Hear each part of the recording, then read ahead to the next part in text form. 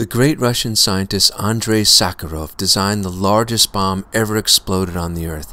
Detonated in 1961, buildings 70 miles away collapsed. This one explosion that shook and polluted the Earth equaled 3,125 Hiroshimas.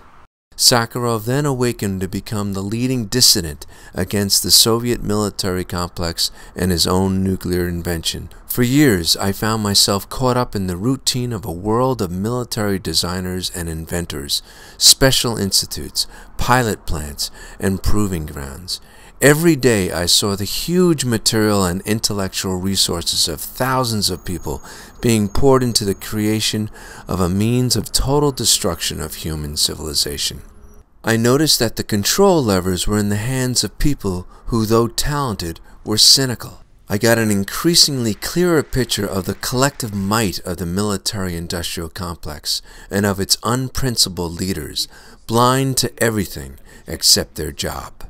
Let's honor Sakharov's last words, recorded just hours before his sudden unexpected death. Quote, I hope that mankind will terminate this critical period of history when we competed in inventing weapons of mass destruction.